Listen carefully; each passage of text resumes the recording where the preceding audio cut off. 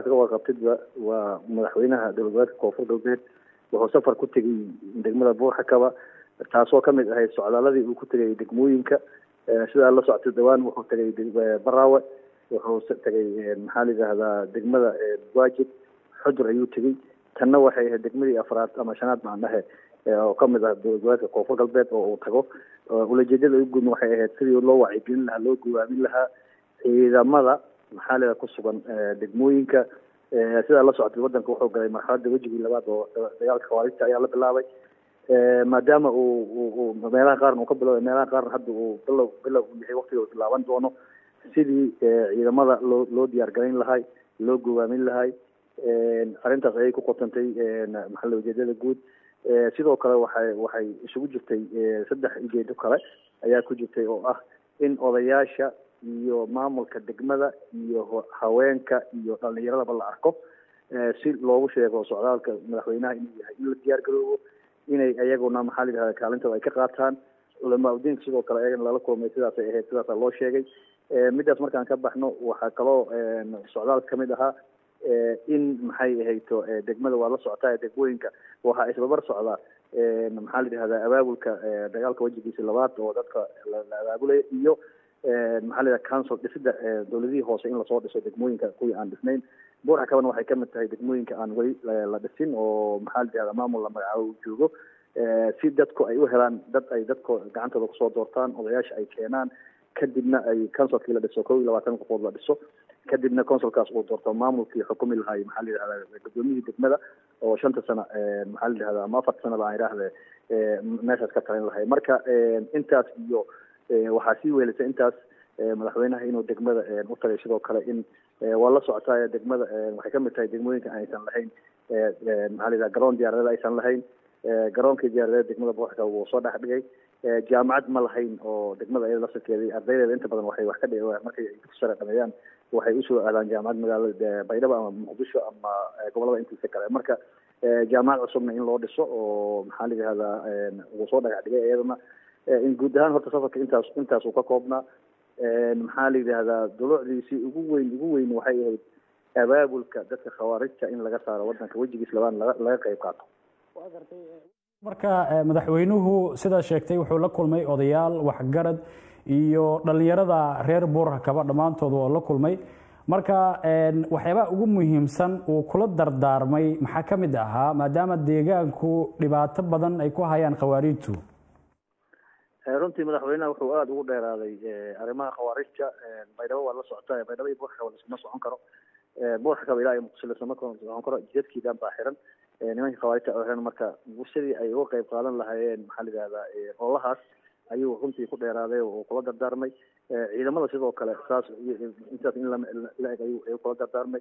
Ciidamaha jooga degmada buurxakaba oo lagu qiyaasay saddex boqol saddex boqol oo askari. Marka ciidamo kale ayaa soo socda oo maxaa la yidhahdaa lagu xoojin doono haddii la yidhahdo intaas iyo iyo wuxuu u sheegay insaanadii iyo wixii hubka ay dhamaystiran yahay.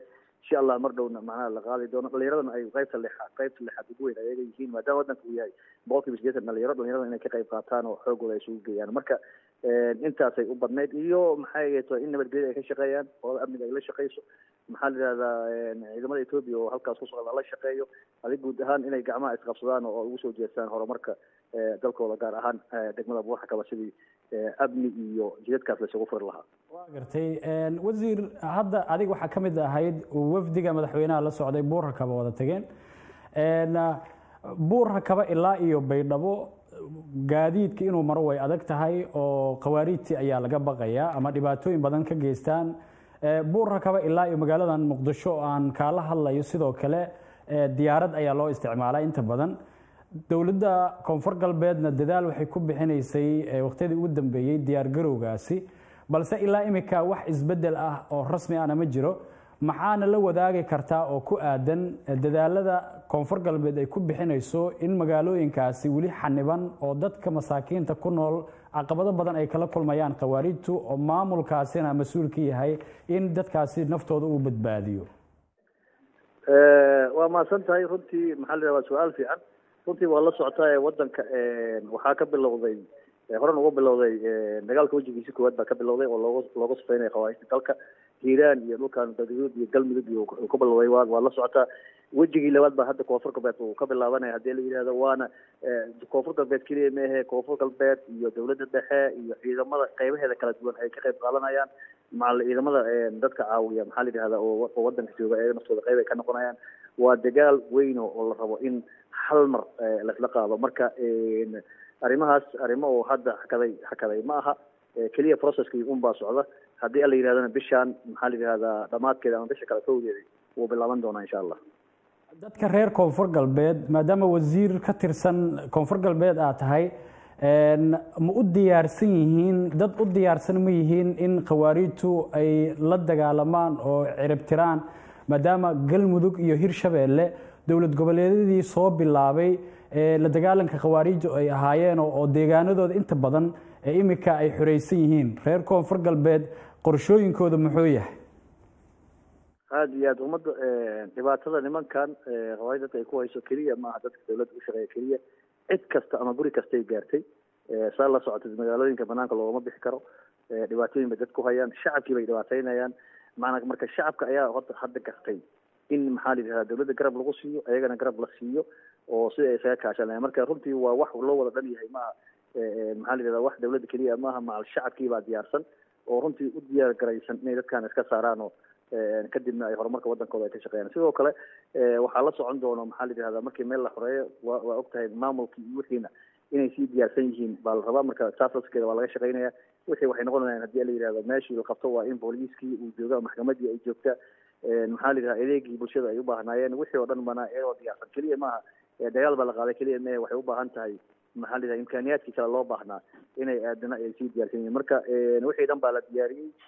Haddii la yidhahdo maxaa la yidhahda odayaasha iyo dhalinyaradu dhibaatada hadday garteen dadku waa shan iyo toban sano hadda muddo muddo hadda laga joogo. Marka runtii waa garan kartaa dadku waa dareemi karaan in dhibaatadii cid kasta inay gaartay marka cid aan diyaarsanayn hadda ma laha shacabka iyagaaba kaa wacyigelaysan oo goormaa waxaan la bilaabayaa oo ay leeyihiin ma garatay